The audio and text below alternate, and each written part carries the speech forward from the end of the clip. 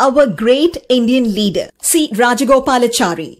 Chakravarti Rajagopalachari, popularly known as Rajaji or CR, was an Indian politician, independence activist, lawyer, writer, and statesman.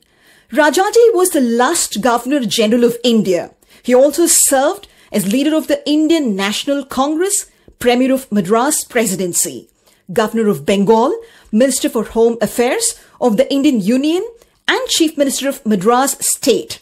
Later, Rajaji founded Swatantra Party. He was described by Mahatma Gandhi as keeper of my conscience